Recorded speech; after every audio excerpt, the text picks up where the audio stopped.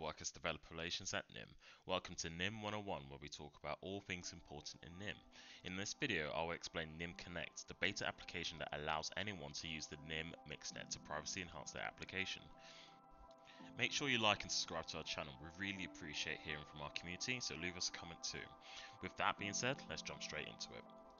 By going to the Shipyard website, it's easy and simple to download NymConnect where we host experimental software for our early adopters. The link to this page will be in the description.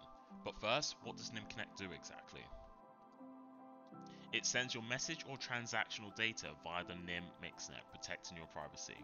The Mixnet mixes your traffic with other people's traffic so that metadata and patterns of communication are obscured from attackers and external observers.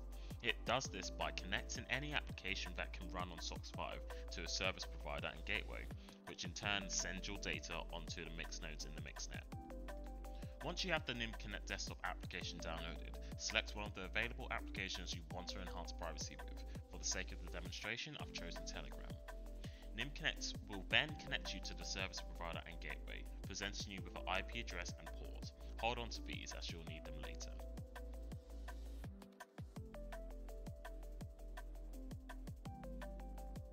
Next, you will need to open up your chosen service provider's interface and check that the application runs via SOCKS 5 proxy.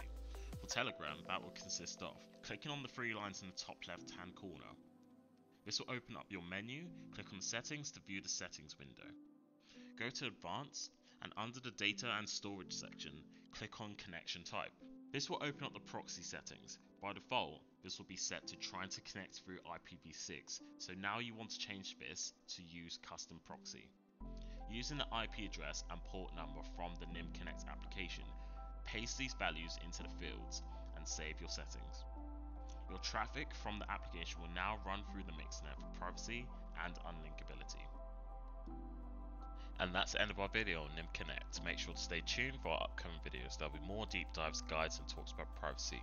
If you have any questions or just want to drop us a hello in our community, check out our socials for constant updates on Nym with our hashtag Privacy Loves Company. Also, if you want to read up on today's topic, check out our blog post or documentation. I'll leave a link for those too. Take care, everyone. I'll catch you next time.